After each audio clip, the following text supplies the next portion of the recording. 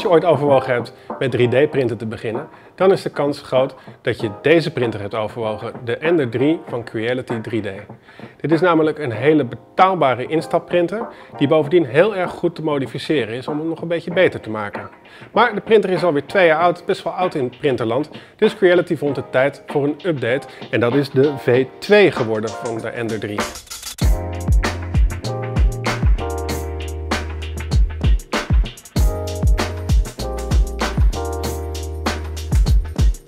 Als je nou zo'n Ender 3 hebt gekocht, dan is de kans groot dat je een aantal upgrades ook al hebt geprint. Zo heb je misschien een uh, houdertje voor je gereedschap of een bakje aan de voorkant voor geprint. Je hebt misschien een shroud voor je ventilator voor het moederbord geprint, zodat er geen rommel in kan vallen. En een bijna verplichte upgrade is een, uh, een geleider voor je filament, zodat het filament netjes bij je extruder komt. Bij de Ender 3 V2 zijn een hoop van die upgrades al voor je uitgevoerd. Zo is er een bakje voor je gereedschap, er zit een wieltje op de extruder zodat je het filament makkelijker kan laden. En het moederbord zit ondersteboven, zodat de ventilator aan de onderkant zit en er dus nooit rotzooi in kan vallen.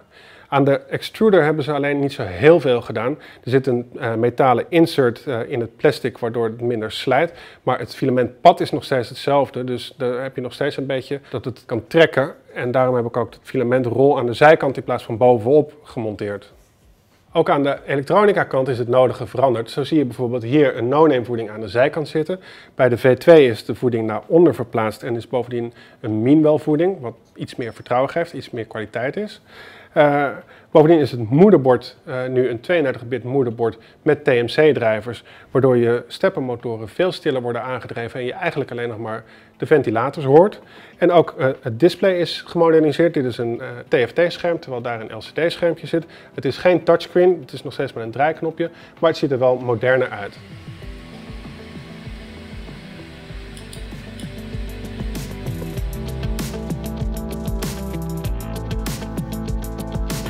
De V2 is dus veel meer een consumentenproduct. Hij is netter afgewerkt.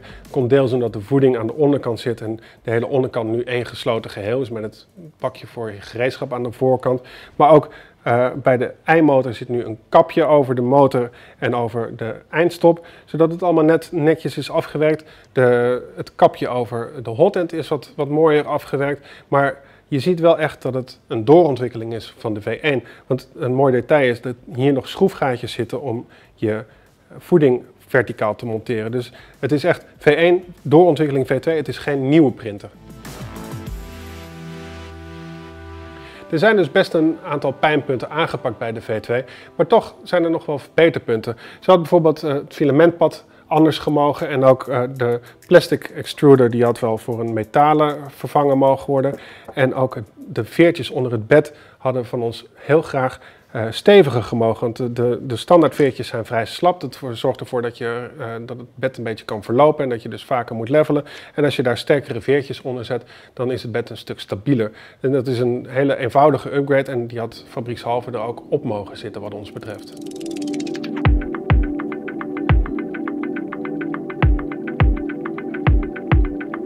Wat de printkwaliteit betreft, die is natuurlijk sterk afhankelijk van je gebruikte filament, je slicer settings, de temperaturen en hoe goed je je bed levelt. En als je dat laatste eenmaal goed onder de knie hebt, dan kun je met deze Ender 3 V2 prima printjes maken die niet onderdoen voor de, voor de originele Ender.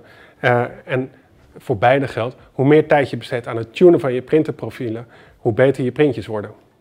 Een aantal mods die voor de V1 worden uitgevoerd zitten al op de V2. Maar we kunnen ons voorstellen dat je toch nog extra upgrades wil uitvoeren. En het goede nieuws is, omdat dit eigenlijk grotendeels dezelfde printer is, zeker mechanisch gezien, uh, passen veel modificaties die voor de V1 zijn ontwikkeld ook op de V2. Dus je kunt heel makkelijk dingen nog upgraden. En een van de dingen die sterk verbeterd is om te upgraden, is uh, toevoegen van automatische bedleveling. Want omdat dit een krachtige moederbord is en bovendien al headers heeft om een ABL-sensor toe te voegen, kun je veel makkelijker iets als een BL-touch toevoegen, uh, waar dat bij de NDV en de 3V1 veel moeilijker is. Als je nu al een V1 hebt, moet je dan upgraden naar de V2. Wij denken voor niet, want uh, je kunt al een hele hoop van de upgrades die op de V2 zitten ook op je V1 realiseren. Maar als je nou moet kiezen tussen de V1 en de V2, koop dan de V2. Want uh, de meerprijs, die ongeveer 70 euro is, de V1 kost 180 euro, deze kost 240 euro. Maar die meerprijs die haal je er ruimschoots uit met de betere voeding, eh, het moederbord, eh, de betere drijvers voor je steppermotors en een glazen plaat die allemaal standaard in de V2 zitten. Dus kortom, de V2 is een waardige opvolger voor zijn oude broertje.